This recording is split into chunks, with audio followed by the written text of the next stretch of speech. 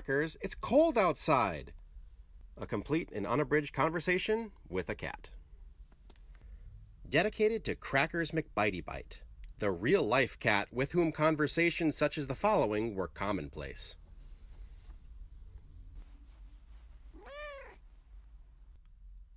Crackers, what is it? Be quiet. The game's on.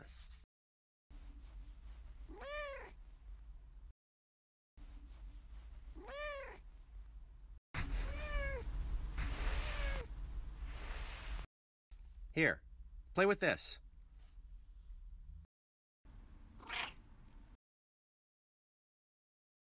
There, now zip it.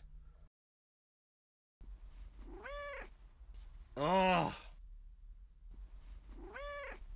Crackers, please. I'm trying to watch the game.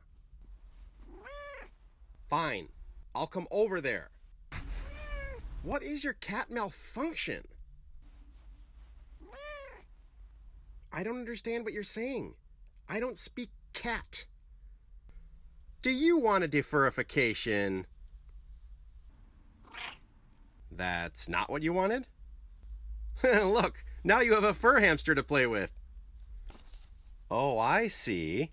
You're showing me your bite bait. Well, every other time I've tried to pet your snowy white underside, you let me have it.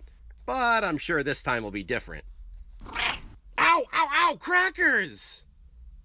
You bit me! Oh, I get it. You want to go outside. You want me to open this door and have it be springtime out there. You want it to be warm and sunny with birds singing, butterflies fluttering, and lots of soft green grass. But too bad. This is Wisconsin and it's January, so you're out of luck. Crackers, listen to me. It's winter. It's cold and snowy out there. You really don't want to go outside. Really? I'm not joking. How long is this going to go on?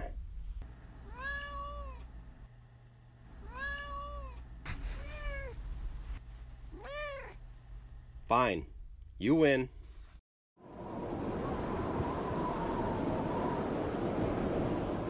Well, go on outside. I knew it. Now I can get back to watching the game. Um, wasn't I sitting there?